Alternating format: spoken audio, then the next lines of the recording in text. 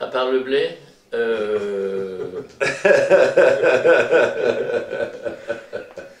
Non, c'est- un concours de circonstances, c'est surtout un concours de circonstances. On a été invité pour euh, une exposition et des, des projections par euh, Thierry Hulbloch. On a discuté, on, a passé des soirées, on a bu des coups, si je me souviens bien. Ouais. pas exceptionnellement. Euh, pour une fois, on a un, un petit peu bu. Et puis, euh, quelques mois plus tard, Thierry nous a rappelé, les, uns et les autres, en disant Alors, ça y est, j'ai le, Barnum, j'ai la Sono. euh, et on a dit Pourquoi? Tu as fait ça? Ben, Vous m'aviez promis que vous alliez remonter sur scène. Donc, une soirée de beuverie, on lui a promis un truc. Et on a, on a voulu tenir. Alors, plusieurs remarques sur ce que vient de dire Jean-Louis. La première, c'est qu'il n'est pas réveillé du tout. Moi, oui. La deuxième, c'est qu'on ne connaît pas Thierry Hulsboll. Je veux dire, le public, nous, on connaît bien. C'est euh, c'est vrai qu'il a fait le musée des Charlots.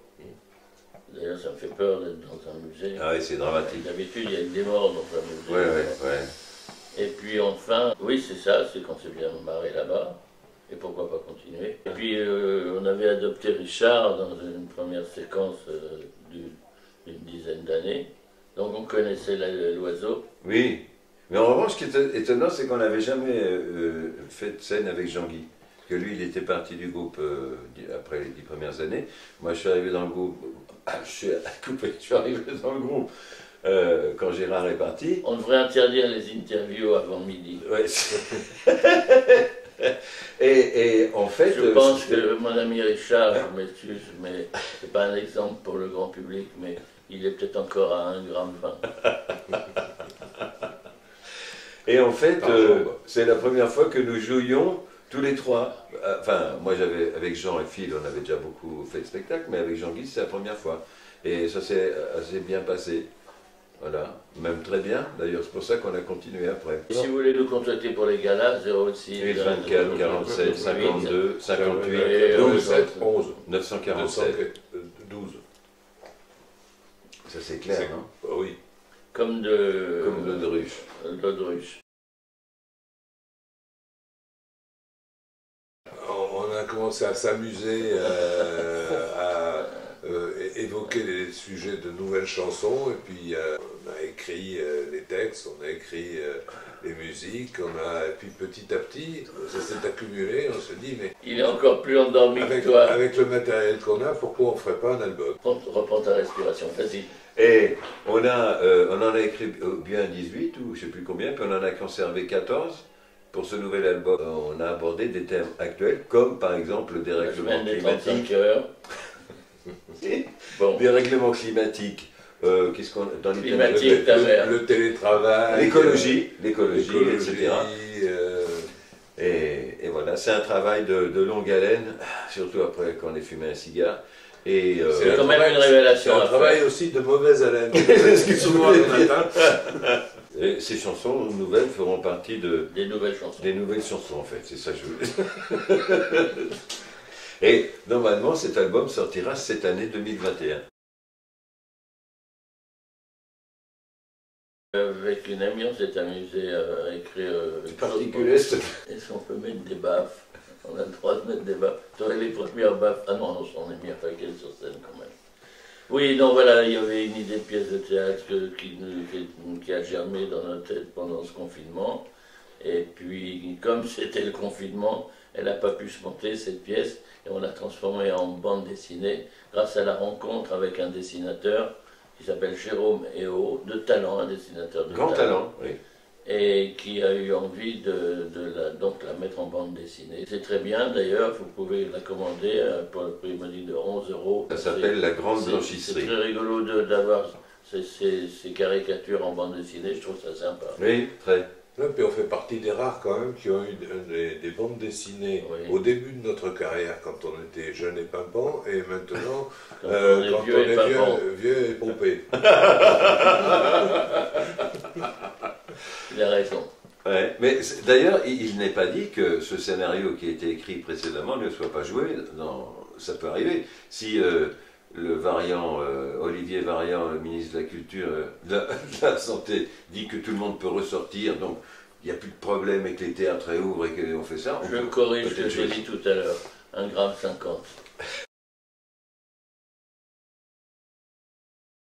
Ah ben euh, oui, alors comment j'ai intégré les Charlots ben, C'est-à-dire que j'étais... Ben, c'est les... au début, on a les chiens. Hein Euh, C'est-à-dire que... Il a, for- il a fondé les problèmes avec euh, Rinaldi Oui, et les, les problèmes sont devenus les Charlots, donc il n'a pas eu à intégrer. tu es ma bouche. Voilà. Voilà, c'est ça. Et oui, je, je suis à l'origine de toute cette histoire, voilà.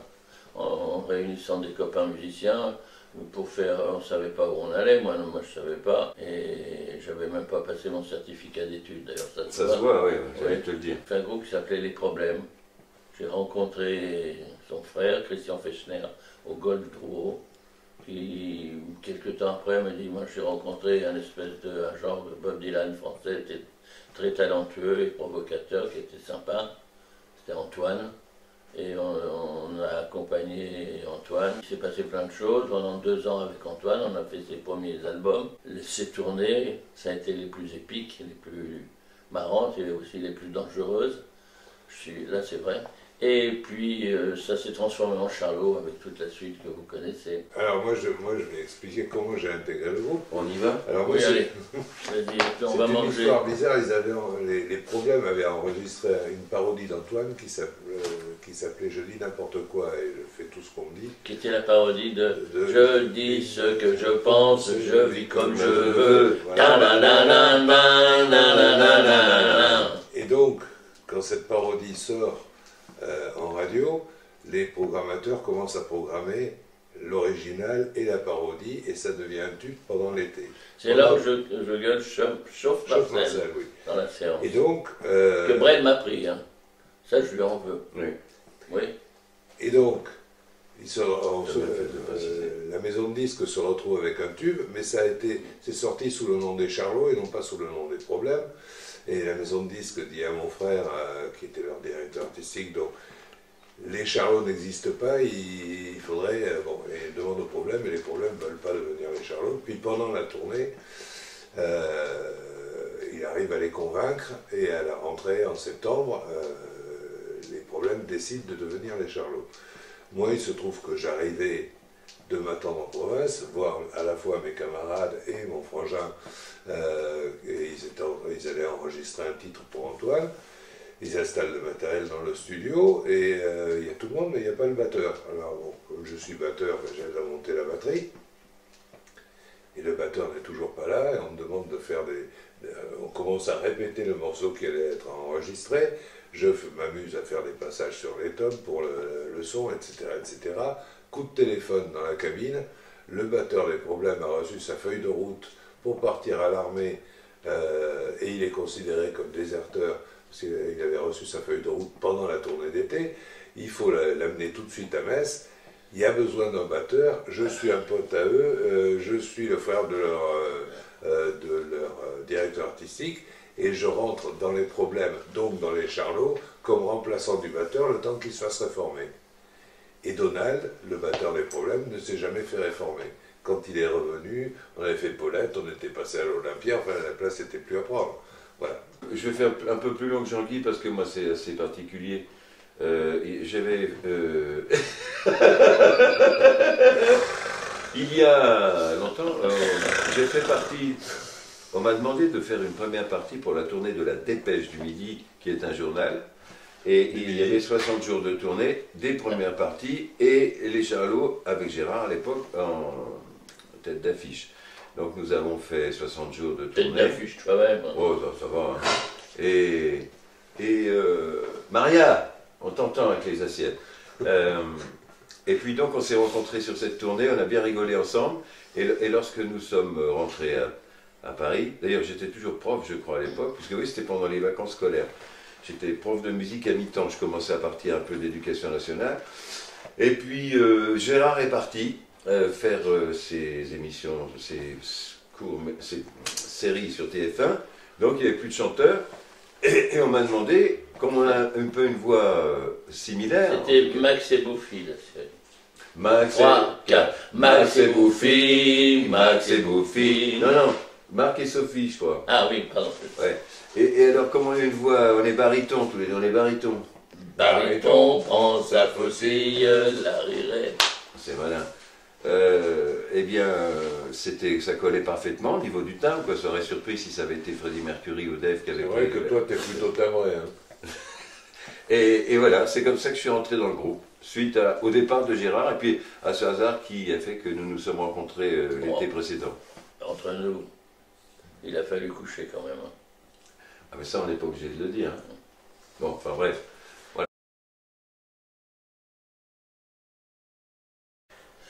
Bon, Ouh, je commence par le début alors. Ah Oui, on a été en Corse faire une tournée, c'est vrai. Et on avait démarré à Anguionne, à côté de Bastia, je crois. C'était très joli. Et on, on est arrivé, on avait les cheveux très longs tous. À l'époque, c'était pas trop bien vu. C'était, on se faisait traiter de tous les noms d'oiseaux dans la rue. Et en Corse, comme ailleurs, c'était pareil. Et il faut pas trop contrarier les Corses non plus, pareil. Je l'ai constaté, mais on y était pour. On a joué dans une, dans une boîte et bizarrement, euh, la salle, elle était toute en largeur. Et en- devant nous, il y avait très, la foule, mais sur, sur une vingtaine de rangs, je ne me rappelle plus. Et sur les côtés, c'est très large. Et puis, euh, il y a des gens qui ont voulu monter voir Antoine sur cette petite scène qu'il y avait. C'est pas une grande scène, il y avait des marches devant. Et un, un des, des- des gardes du corps d'Antoine, qui intelligemment a pris un pied de micro, boum, pour taper dans ceux qui voulaient monter. Ça a été euh, tout de suite euh, bagarre générale, mais très très rapidement. Des, des objets volants non identifiés sont passés d'un côté, de l'autre. Nous, on était au milieu. Louis a pris, euh, il a pris une, bouteille dans le genou. Bon, une grosse bouteille de champagne. Il est parti en boitant. Il avait mis un seau à champagne sur la tête. à se bagarrer de partout. Tout volait dans tous les sens. C'est vrai, c'est vrai. J'ai jamais vu une bagarre aussi importante, avec autant de monde qui se foutait sur la gueule. Les pour, les contre, nous au milieu et même euh, victimes. Louis avait donc euh, a eu un épanchement de synovie, il ne pouvait plus marcher. Euh, il s'était mis un seau à champagne pour partir, il en a pris plein la tête. Euh, nous, on avait renversé euh, le clavier, un, gros synthé, et on s'était mis dessous avec Gérard, avec Rinaldi, parce qu'on est très intelligent, très courageux. On était là, on a, secouru personne, on, on était cachés derrière, ça volait dans tous les sens. Mais franchement, les bouteilles volaient, les chaises, tout. Et Phil, qu'est-ce qu'il a fait? Ah, il en a pris une dans le coude, il a pris une chaise, je crois, dans le coude. Une chaise ou une autre bouteille. Mais fort, paf, le bras tout le, tout bleu ici. Et, à un moment, le batteur, il fait Ouais, c'est lui qui a jeté dans ma grosse caisse, il avait jeté sur une chaise, bon, la peau crevée. C'est lui et, il se lève, et il court vers le mec, et là, pof, tout le monde lui tombe dessus. Et je vois quelqu'un, alors il le tenait, il était comme ça, pan sur la tête, je sens. Alors là, avec Gérard, levé quand même, on a été le chercher. J'ai pris un micro, on l'a rebranché en vitesse, on a allumé un ampli. Lui, on a demandé s'il y avait un médecin dans la salle. Et on a tiré Donald, qui était dans le coma, évanoui, et il saignait abondamment du crâne. Et alors, il y a un médecin qui est venu, on avait, euh, on avait fait un petit carré pour le protéger, et il l'a il a recousu. Oh là là là là. C'était un état de guerre. Et le lendemain, le lendemain c'est un peu long l'histoire, mais bon. le- bon, on, on a été dans les bungalows, les, des militaires, des- la gendarmerie est venue, et euh, on, on dormait dans des bungalows sur la plage d'Anguionne. Et il y a, il y a les, les mili- les gendarmes qui disent Bon, on va rester euh, euh, ici jusqu'à demain matin. Là, euh, on arrange un truc avec l'avion, vous verrez.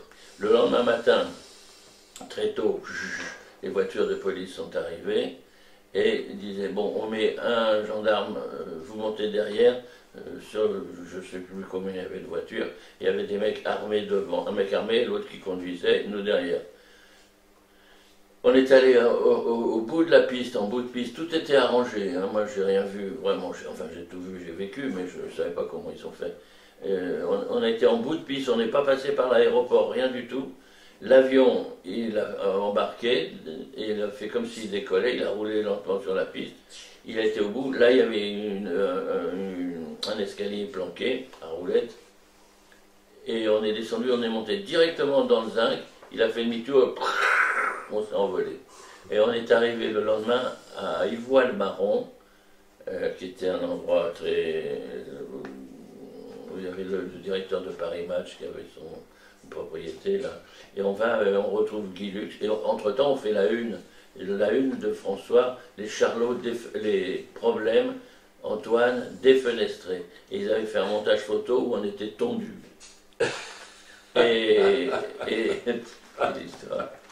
Et on est arrivé, alors on ne s'était pas changé, tout ça s'était passé très vite, on n'avait pas pris de frein, on était venu pour un gala. Et euh, moi, je j'avais tiré Donald par, les épaules, et j'avais plein de sang sur la veste, et on était tous cabossés. Et Guy Lux fait Oh, vous restez dans, les coulisses, et je vous appellerai un par un. Jean, dis-moi ce qu'ils ont. Alors je dis Louis, il a machin, ça, le fils, il a ça. Eh bien maintenant, j'appelle les problèmes qui vont là. Louis Rego, Louis qui a un épanchement de stylorie qui ne peut plus marcher. Effectivement, Louis arrive en boitant. Il lui avait mis une chaise. Il a sur la chaise, il lui met une couverture sur les genoux parce qu'il grelottait. On était en plein été. hein. Et, maintenant, j'appelle Phil. Phil, qu'est-ce qu'il a, Phil? Il a un problème au bras. Oui, je peux plus plier mon bras. Il jouait de la alors il met sa guitare Y, puis il jouait debout comme ça, avec, avec le bras tendu, parce qu'il ne pouvait pas faire autrement. Et j'appelle Jean, Jean qui est plein de sang. Alors, euh, et je, je rentre sur scène, il fait Mais c'est du sang, Jean, qu'est-ce que c'est? C'est- Je lui dis C'est du sang de Donald. Ça vient du trou de la tête à Donald Oui, oui, oui. Et tout le monde applaudissait Ouais, Ouais. il a sang de la tête à Donald. Et Gérard Rinaldi qui a rien, rien du tout. Et hop, on a joué, c'était comme ça tout le temps, tous les jours. Les, les poursuites après les galas, partir en panier à salade, euh, se faufiler dans les arènes pour pas prendre des bouteilles de bière. Ils- à cette époque-là, dans les galas, ils vendaient des, des canettes euh, comme, euh, pour boire, mais des canettes et ça volait dans tous les sens. Quand on est retourné, après on est retourné à Ajaccio, la même saison, quelques jours après, une dizaine de jours après. Avec une infirmière. hein. Et euh, il y avait donc un officier de gendarmerie qui était là. Et moi, j'attendais derrière pour voir euh, un problème technique euh, avec le, le tourneur. Et j'entends que le gen- le- le- l'officier dit euh, Bien, alors, on a mis des tireurs là et là. On jouait en plein air. Il y avait une côte à côté. Et il y avait un grand mur et des petites fenêtres d'immeubles. Mais il n'y en avait pas beaucoup où ça devait être les- l'escalier d'immeubles. Et par contre, là, le, le Vasistas, là-haut, on n'a pas pu placer de tireur. J'espère qu'il n'y aura personne. Et nous, le soir, on jouait en regardant toutes les fenêtres. Bon, bah, Ouais, t'as fait court, Jeannot, c'était bien. Il fallait faire court de. oui. On n'est pas loin de l'apéro. hein. On avait acheté pour aller en gala, ce qui est très pratique, tu vas voir, une Lincoln Continental. C'est une voiture qui à vide doit faire 2 tonnes 2. Et Et un plein fait 2 tonnes 3 avec nous, à l'époque. Puis il y a beaucoup de garages Lincoln en France. Alors, toujours les charlots très techniques, très au courant. des- On avait des- euh, acheté une Lincoln pour aller en gala, ce qui est très pratique hein, quand il n'y a pas d'autoroute. Il n'y avait pas d'autoroute en France. Euh, pour, pour ceux qui savent, qui ne se souviennent pas, la Lincoln, c'était la voiture dans laquelle le président Kennedy s'est fait assassiner. Et c'est ça, hein. Et c'est, tu vois c'est-à-dire, il y avait le France, le paquebot France, et la Lincoln. C'était à peu près C'est à peu pareil. près pareil au niveau de la taille. Et donc, c'était. Mais on faisait que 30 litres au 100. hein. Non, rien. Pas tout à fait 30 litres en faisant gaffe, en roulant avec des œufs sur l'accélérateur. Euh, mais il n'y a pas de pièces détachées. On a eu deux petites histoires aussi anecdotiques. On crève, par exemple. C'est simple de crever. C'est hop, on change la roue, on part. Ben non, là non, parce que c'était les tubeless. Il n'y avait pas de chambre à air. C'était le début. En France, il y avait des chambres à air, mais la Lincoln, c'était bon, hein, c'était plus moderne. Et donc on crève, ben, il n'y a pas de euh, personne pour réparer. On la laisse, on, loue, on prend un taxi, on va louer une voiture, on revient coup de la crevaison, une brique. Euh, euh, C'est malin, il y en a là-dedans. euh, Il n'y avait aucun, aucun concessionnaire. hein. Dans la descente de Brive, on était du côté de Brive la nuit, on descendait, euh, puis d'un seul coup, Gérard fait J'ai plus de direction assistée. Putain, j'ai calé. Quand, quand le moteur s'arrête, il n'y a plus de direction assistée, plus de frein assisté. Et puis au secours, alors, euh, moi j'étais derrière, je me penche pour essayer de tourner le volant avec Gérard, Jean-Guy dans le- de l'autre côté, et, et, et Phil, le professeur, euh, le savant, Professeur Nimbus. Nimbus, Nimbus, avec un, un- un espèce de couteau suisse. Attends, ah ah oui, la clé, en voulant redémarrer, paf, la clé s'était cassée dans le contact. ah, il n'y a plus de clé, au secours, le paquebot en perdition, le Titanic.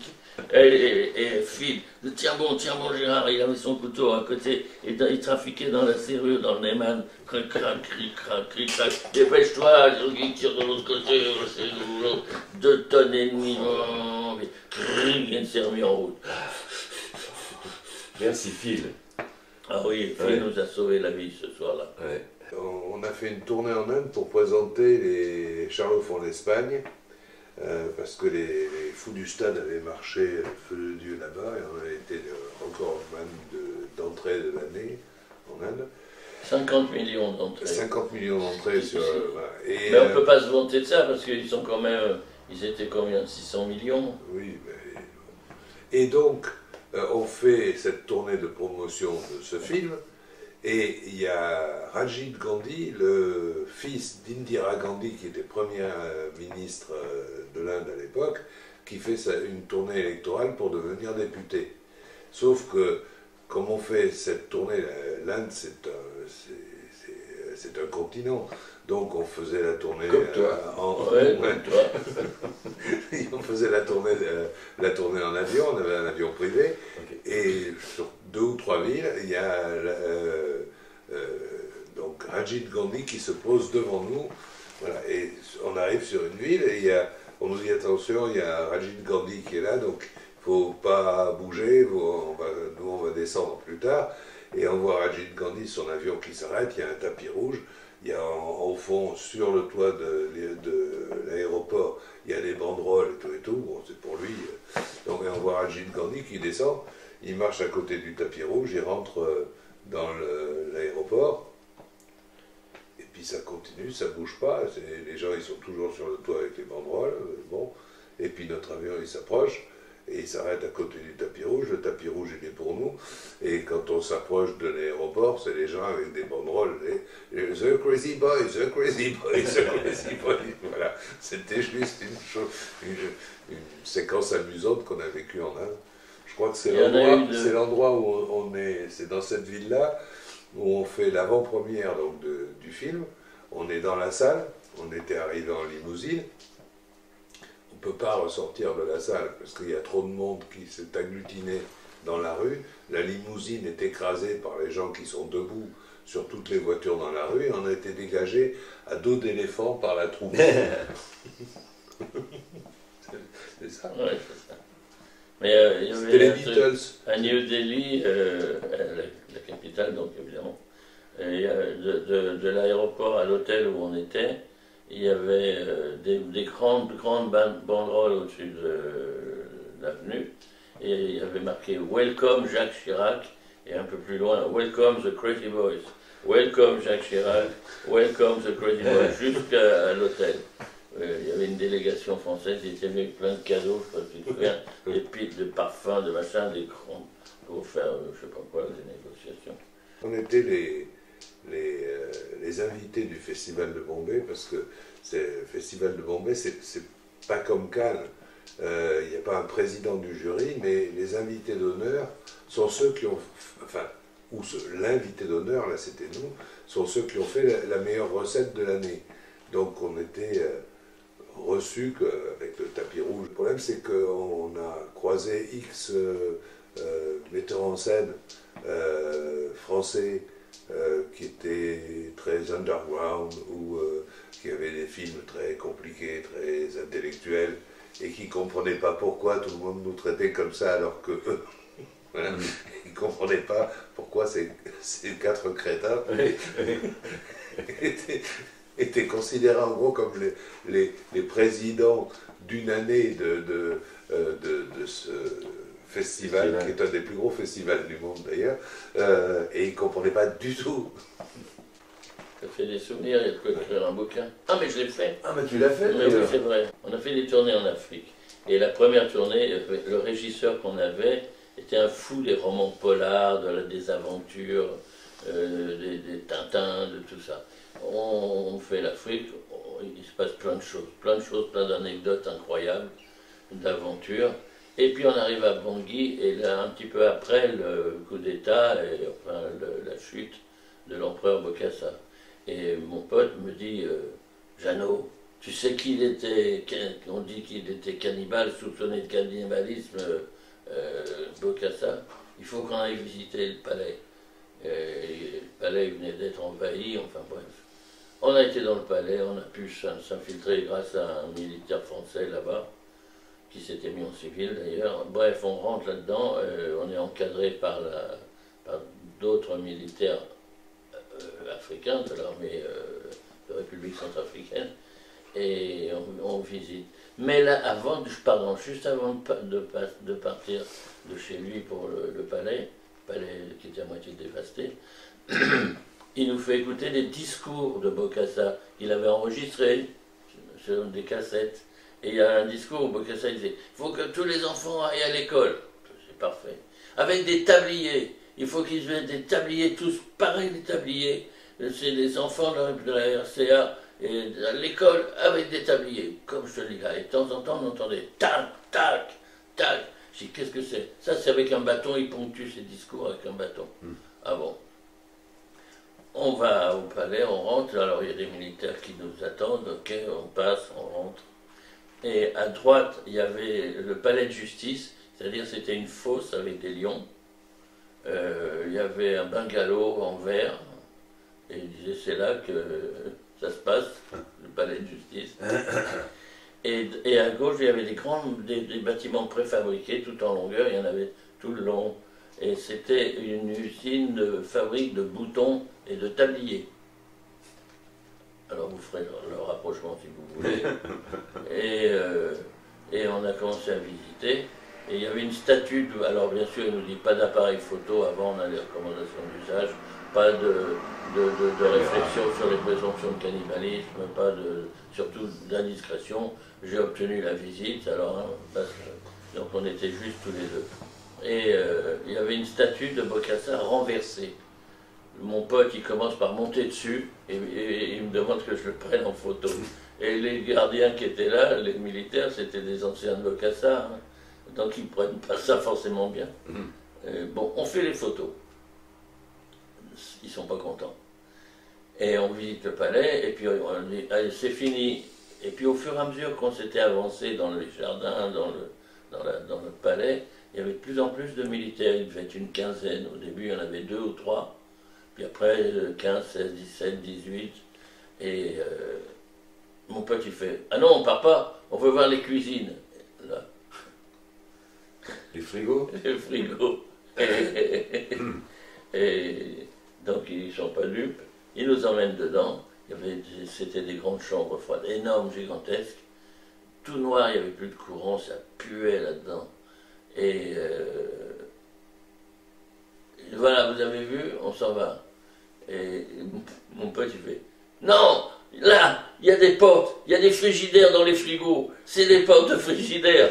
Alors, Ben, ben, vous voulez voir Il nous ouvre les portes, on rentre, paf, moi je suis claustro. hein. Et et il y a quelques militaires qui rentrent avec nous, bling, la porte se ferme, et je suis dans le frigo. Il faisait une chaleur épouvantable d'ailleurs. et tout, tout avec plein de militaires. Et je sentais les armes, puis on entendait les, les cling, cling, cling, cling, cling, cling. Le cliquetis. Ouais, et, je te jure, j'ai tellement la trouille, mais la peur intense. Je lève les mains pour pas, tu sais, pour mais dans le noir on me voit pas. je suis tout seul comme un con, les bras en l'air, avec les mitraillettes de partout. Et Et vous avez vu les frigos, il n'y avait pas, il y avait rien. non, il y avait, il y avait juste euh, une odeur épouvantable. Et je me suis dit, ça pue et tout. Et il y en a qui fait. Et on avait mis un prisonnier il y a quelque temps, il a voulu s'évader par la gaine d'aération, il est resté quelque part dans le tuyau. Oh là là là là. Voilà. C'est la classe. On est sorti de là, on est rentré à l'hôtel et je vois Gérard et sa femme. Ben Jean, qu'est-ce que t'as fait? On te voit jamais, on te voit pas. Qu'est-ce que t'as fait ce matin? Oh, rien, rien. Je t'expliquerai. on en parlera plus plus tard. Lorsque. Attends, c'était quand ça En 80. Je me rappelle. Enfin bon. À un moment, Antoine, il revient de, de son île, là- là-bas. Et puis tous les ans, il apportait des images, des, petits courts-métrages sur, sur ses voyages, tout ça. Donc il venait de la promo en France. Et puis il a appelé Phil, je crois, hein, c'est ça, Jeannot, il a appelé Phil. Et puis euh, pour lui dire Ah, ben ce serait marrant de recréer, de refaire le groupe Les Problèmes retrouve Antoine à l'Olympia.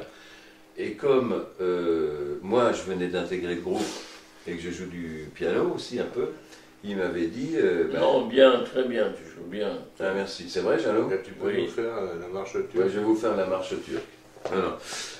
Euh, donc en fait, j'ai intégré le groupe, alors que je n'y étais pas à la base, puisque j'étais pas dans les problèmes au départ, mais j'ai fait l'Olympia au piano avec euh, Jean, euh, Phil, euh, qui avait Donald à la batterie. Il a dit dans l'ordre, Jean-Phil Donald. Oui, Jean-Phil Donald. Et puis qui est-ce qui manque? Ben, C'est tout. Louis. Eh ben toi Louis. oui, voilà. Louis Rego. Et donc, impeccable, on répète tout ça. Et le, le- alors non, il y a deux anecdotes. 2000 personnes, c'était plein, hein. les, les, les problèmes retrouvent Antoine. On avait répété à peu près 15 titres, ou 1, 20, pas Oui. ouais. Et puis nous commençons, et leur première chanson s'arrête, et Jean, il était avec sa basse, ah, les gens, ouais, Jean, il dit, euh, il fait signe, je m'entends pas. Il- ce qui était impossible, parce qu'on avait répété, il y avait les assistants au retour de scène. Il dit, ah, moi je dis, ouais, je dis, je comprends pas. En fait, il a joué tout le premier morceau sans avoir allumé son ampli. Déjà, ça c'était sympa. C'est-à-dire qu'on a- il y avait pas de basse dans le musée. Donc on me pose une question sur toi, tu vas voir. Et, et attends, c'est pas fini. Le spectacle continue. Et Phil, il était dans, dans le fond là-bas, à côté court. Il avait sa guitare électrique, ses pédales de disto, tout ça, wah-wah, tout le bazar, pour être dans le son de l'époque, tu vois. Et en plein, à la fin d'un morceau, il se barre, en, en direct, hein, il s'en va. Et on regarde, Phil, il s'en va, il lève, il revient à- sur la scène avec un tournevis à la main, en direct, hein, et il se penche, il, et il est en train de bricoler son, sa pédale de euh, disto, et on lui dit, mais qu'est-ce que tu fais? Mais j'ai un petit souci de connexion, là. en direct à l'Olympia, Voilà. Bon, ça, deux, trois anecdotes. Attends, il y en a une où. Ah oui, on rentre dans la chambre de Louise qui avait perdu la mémoire, et on, on nous demande de revenir voir Louise à Lisbonne afin de faire revivre des scènes de sa vie passée. Ça, c'est le pitch. Le pitch. Et on rentre justement à un moment dans sa chambre pour lui faire revivre le service militaire. Et Jean avait dit aux ces gens qui réalisaient le film, aux machinaux, de ne pas mettre de, de balles à blanc, quoi, tu vois, de, dans les mitraillettes. Ah, c'est ça, hein, dans les mitraillettes, de ne pas mettre de, de- que ça fasse du bruit. On- et nous, on- dans la scène, on aurait fait ça, puis au doublage, j'aurais mis des bruits de mitrailleuse, euh, mitraillette. Et donc, on rentre avec Guy Montagnier, euh, Phil et Jean. Hein? Alors, Louis, ça, tu te rappelles? L'armée? On a un casque et tout. Et on- et- mais sauf qu'on appuie sur le bazar, ta ta ta ta ta, et ça pète de partout. Le mec, il avait changé les trucs. Et on, on était très surpris. Tu te souviens de ça ou pas? Et à un moment, euh, alors en plus, les voisins du dessus, c'était dans un appart. C'est quoi ce bordel? Il y a un attentat, qu'est-ce qui se passe? Et à un moment, c'est toi qui jettes une grenade? Non, c'est Guy Montagnier. Il jette une grenade par la fenêtre. Et attends, le saut, il était trop près du Il bord. y avait un échafaudage qui avait été monté au ras de la fenêtre. Ouais. C'est là-dessus qu'on faisait les explosions. Et, et avec la caméra, on, on- ça faisait comme si c'était à l'intérieur de la chambre. Mais il y en a un qui a balancé, je sais pas quoi, il y a un éclat qui est venu, c'est tombé dans la chambre, et il y avait Guy Montagnier, il était là, puis il fait Putain, j'ai le cul qui brûle pendant, pendant la scène. Et effectivement, il, il avait, il avait le cul sur le. Voilà, voilà, c'est deux, trois anecdotes du film.